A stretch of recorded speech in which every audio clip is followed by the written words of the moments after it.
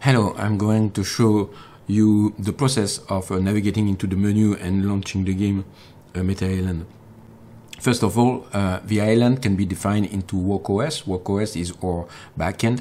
Um, everyone has access, uh, have to have a, an access to WOK-OS. They are admin, they are wolves, which are the island owners, can be you and anyone else, and they are the players. So this we have created some island, and uh, before playing with the island, you need to apply for citizenship.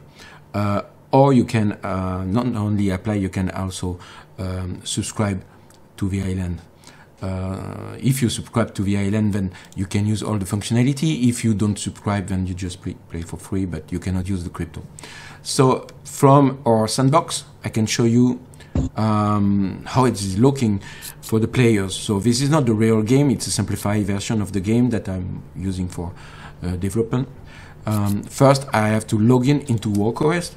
Uh, there is a permanent connection with WOK-OS. We are pinging, we are loading all the data in real time.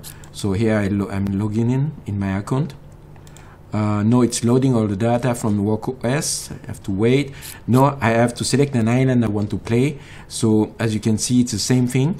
Uh, where my citizenship status is here, subscription. Um, some island I cannot go because I, I, didn't apply for citizenship. So I'm gonna select. I don't know the second, the second one. Uh, no, I I have selected the Genesis military subscription island. I can start to play play solo mode. Um, no, I have the map of the island and I have several uh, spawn point. No, I have only three, but we, there will be more in the future. But for example, I select this one and I arrive on the spawn spawn point. This spawn point, uh, when you select them, you can respawn there when you die, for example.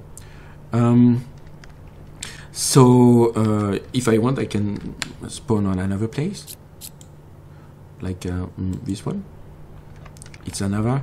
Uh, of course, the, the, this point point are not the definitive one because this map is not the definitive one. Of course, this is the sandbox as I explained it, but it just show how you can navigate. You can anytime you can log out and select another uh, account, another player.